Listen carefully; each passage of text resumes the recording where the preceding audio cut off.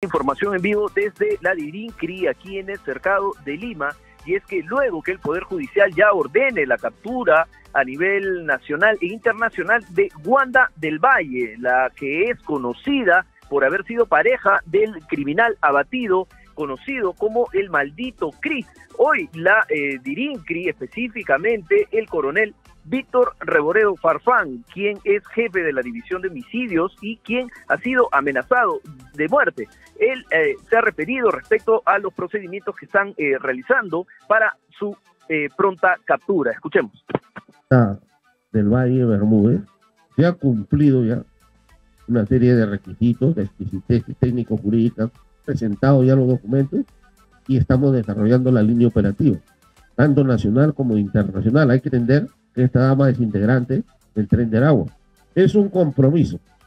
La vamos a capturar. Tren de Aragua no va en el Perú.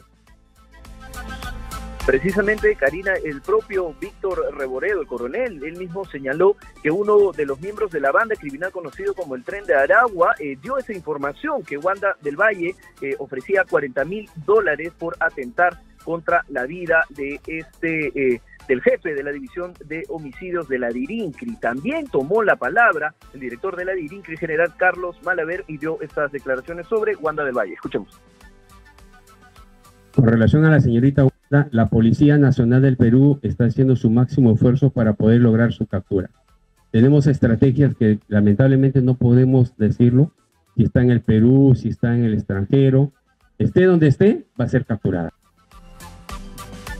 Como se ha podido escuchar, Karina, ellos no dan mayor información respecto al paradero de Wanda del Valle Bermúdez, pero lo que afirman es que se encuentran tras sus pasos y, bueno, como hemos escuchado al general, no quieren dar mayores luces para no entorpecer esta eh, pronta captura. Es la información desde la Dirincri para Exitosa en Lima en los 95.5, la voz que integra al Perú.